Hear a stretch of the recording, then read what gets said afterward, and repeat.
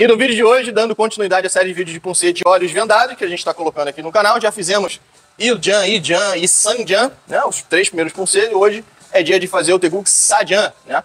É uma série de vídeos que eu estou colocando aqui como forma de sugestão de treino e também um desafio, principalmente para o nosso aluno Robson, que está se preparando para fazer exame para a faixa preta, e isso realmente é uma coisa que vai mudar um pouco a forma de percepção de mundo dele e trazer mais naturalidade para os movimentos. É isso que eu sempre falo, você precisa treinar, treinar, treinar, para que cada vez os movimentos sejam mais fluidos, sem nenhum tipo de trava. Né? Isso é muito importante. Se você curte esse tipo de conteúdo voltado para o Taekwondo, não se esqueça de se inscrever no canal, ativar o sininho da notificação para o YouTube avisar você sempre que tiver vídeo novo por aqui. Eu sou o mestre Felipe Massal, vamos hoje no Tekuk Sadian de olhos vendados. Vamos lá.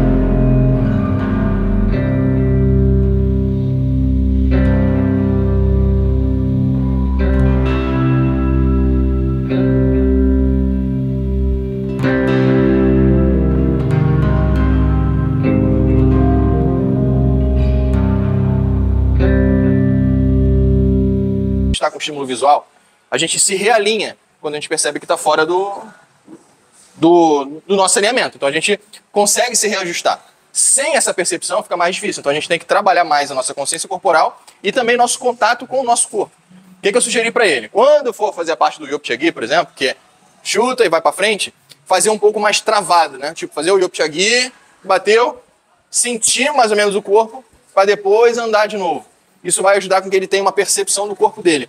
E não apenas chutar e cair como se fosse um, se estivesse de olhos abertos. Né? É, como eu falei, uma percepção um pouco diferente. Então, alguns ajustes precisam ser feitos para que ele entenda isso, o corpo dele entenda isso, que essa direção, essa mudança de direção, esse realinhamento de direção, ele faz parte. Quando a gente está enxergando, a gente faz isso de uma forma mais natural, mais simples. Quando a gente não está enxergando, a gente não tem essa percepção, a gente precisa ajustar outras coisas para que a gente aprenda, né, para a gente consiga se realinhar. Entendeu?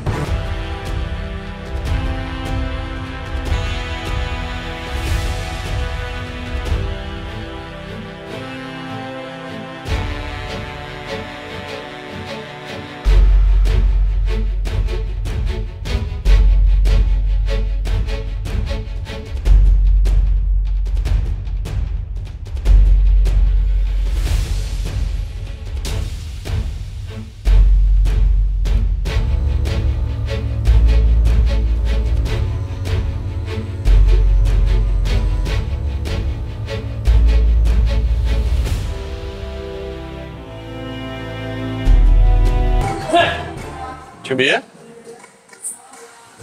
Acho que eu consegui alinhar um pouco melhor. Fala de novo. Acho que agora eu consegui alinhar um pouco melhor. Tentei equilibrar o meu eixo. Tira a verdade.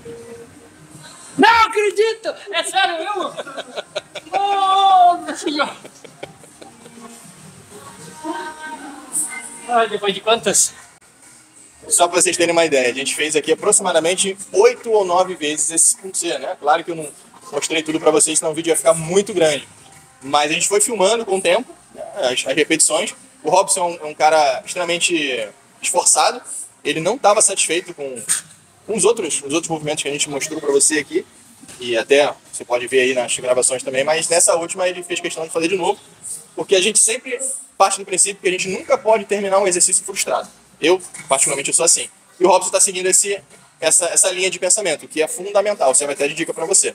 Não saia de um treinamento frustrado. Se você achou, por algum motivo, que não está bom, faz de novo até você achar que está bom.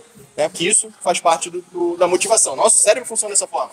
A gente tem que ter recompensa. E qual é a recompensa de fazer um exercício? Fazer bem feito. Ainda mais no nível que ele está. Então, isso sim é um exemplo de que, cara, treina, continua treinando, se esforça, se dedica. Não faça apenas por fazer, não treine apenas por treinar. Treina realmente para você aprender. Isso se refletiu no que o Robson acabou de fazer, né, Robson? Com certeza. Eu só tenho a agradecer, porque tava terrível. Meu Deus. E ele é horrível. As transições ali é, é terrível. Não foi fácil. Não foi fácil. Não é que foi nove vídeos. Mas agora eu saio. Sai satisfeito, pelo menos? Saio feliz e satisfeito. Obrigado, mestre. É isso aí. O vídeo hoje fica por aqui. E sempre que você começar a fazer alguma coisa, tente fazer o máximo que você puder. A melhor forma possível. Beleza? Se se inscreve no canal, se você não for inscrito ainda, para sempre receber conteúdos novos. Me segue no Instagram, arroba FelipeTKD. Esses vídeos também vão estar lá. E se você quiser conhecer o meu sistema de treinamento online Maestria no Taekwondo, só clicar na descrição desse vídeo. Um abraço, até o próximo vídeo.